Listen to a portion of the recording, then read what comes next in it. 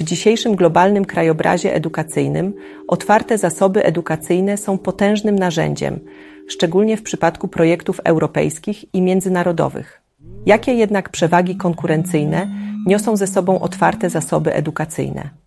Po pierwsze, globalny dostęp do otwartych zasobów edukacyjnych może uzyskać dostęp każdy, gdziekolwiek i w dowolnym czasie oraz korzystać z nich zgodnie z prawem autorskim, co znacznie zwiększa ich zasięg.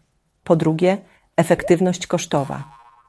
Bezpłatna dostępność otwartych zasobów edukacyjnych pozwala uczniom i nauczycielom oszczędzanie na materiałach dydaktycznych. Po trzecie, współpraca. Otwarte zasoby edukacyjne promują współpracę pomiędzy instytucjami edukacyjnymi z różnych krajów i kultur. Dla wszystkich jest jasne, na jakich warunkach można dalej korzystać ze wspólnie stworzonych materiałów.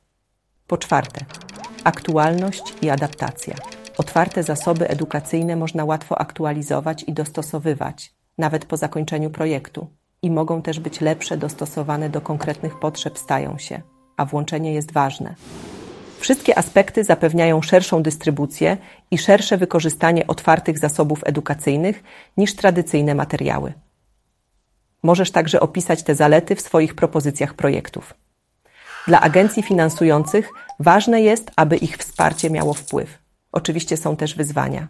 Mamy dla Ciebie kilka rekomendacji. Po pierwsze, partnerzy projektu często potrzebują wprowadzenia do otwartych zasobów edukacyjnych. Po drugie, we wspólnym wniosku najlepiej wybrać konkretną licencję. Polecamy licencję CCBX 4.0 międzynarodowe.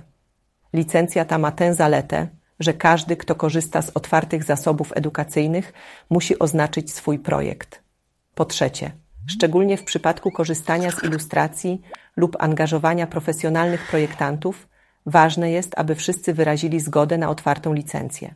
Po czwarte, jeśli masz określone usługi dotyczące otwartych zasobów edukacyjnych w Twojej instytucji, np. strategia, osoby kontaktowe lub repozytoria, należy to również uwzględnić we wniosku.